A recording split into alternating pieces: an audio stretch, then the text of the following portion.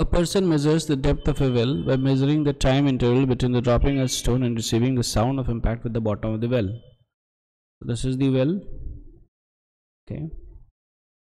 Well is L and he drops the stone. The stone reaches the bottom. So for the stone to reach the bottom, it's under the acceleration due to gravity. So therefore T1 time to reach the bottom. So T1 is equal to root over 2l by g. How we get this equation is actually half gt square is equal to l. So t1 is this.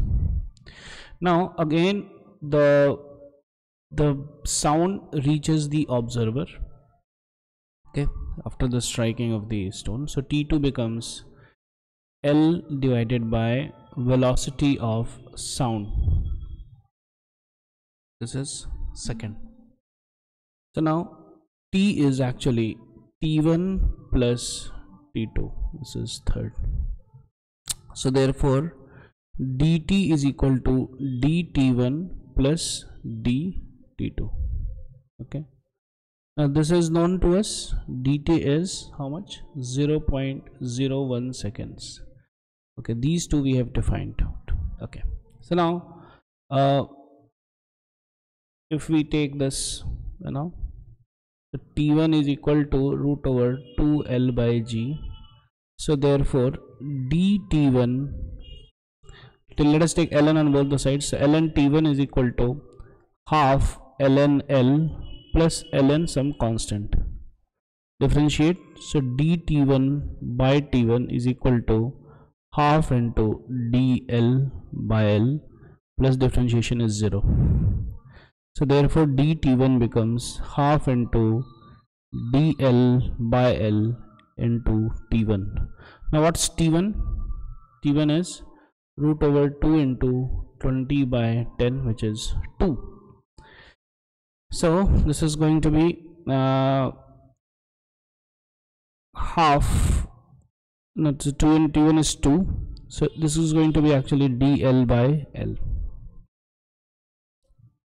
third.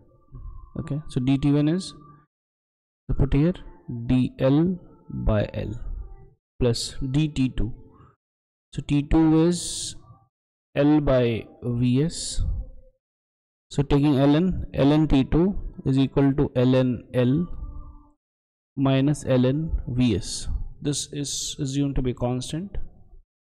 So therefore uh, dt2 by t2 is equal to dl by l.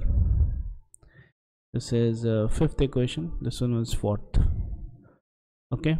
So plus so dt2 becomes dl by l into t2 so dl by l into t2 t2 is uh, t2 is l by vs. L is 2 20 by Vs is 300 so this is 1 by 15 so plus dl by l into 1 by 15 okay? And this is dt. It is 0 0.01 okay? So what we have to find out? dl by l. So dl by l into uh, this becomes 16 by 15 is equal to 0 0.01 so dl by l is equal to 0 0.01 into 15 by 16 and in percentage it you know you have to multiply by 100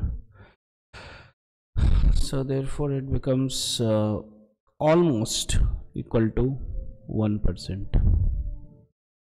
So a is the answer. Thank you